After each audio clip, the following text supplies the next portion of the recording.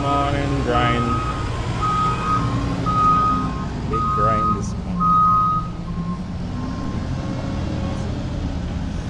One yard in there.